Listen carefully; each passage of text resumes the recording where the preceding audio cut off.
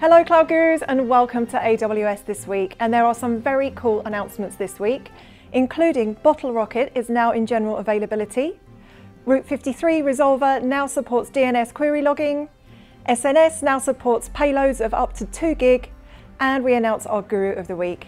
You're watching AWS This Week with me, Faye Ellis.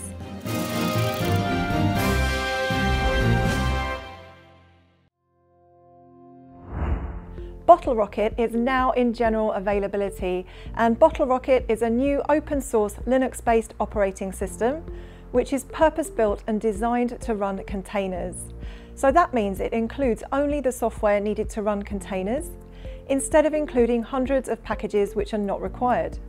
And this is great from a security perspective because it reduces exposure to attacks and it also comes with security enhanced Linux or SE Linux and protection against rootkit based attacks.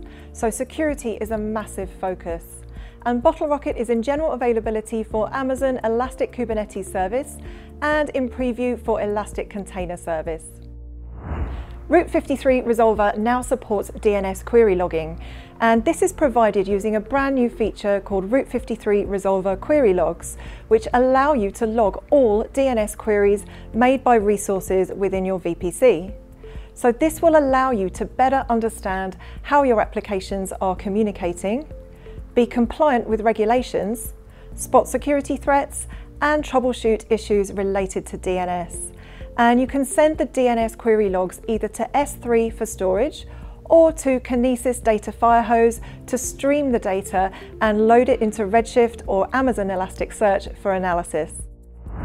SNS or Simple Notification Service now supports messages of up to 2 gigabytes in size using the new Extended Client Library for Java and if you haven't used SNS before, it's a notification service which allows you to send notifications using text message, email, and HTTP protocols.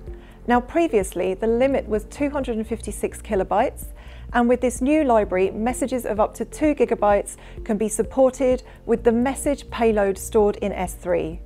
And the SNS notification will reference the S3 location where the payload is stored. So on to Guru of the Week. And the answer to last week's question was C. And the person with the best answer is Melvin Canafranca. And Melvin is a solution architect at Accenture in the US. So congratulations to Melvin. There is an A Cloud Guru t-shirt and stickers on the way to you in the post. Please see the link below for this week's question, which is now live on our forum. And finally, if you love AWS as much as we do, then you are going to love this incredible song from our very own Forrest Brazeal. It's an original song, and I'm pretty sure it's the only song in the world featuring 168 AWS services. There's MQ, EC2, and a redshift and game listing glue.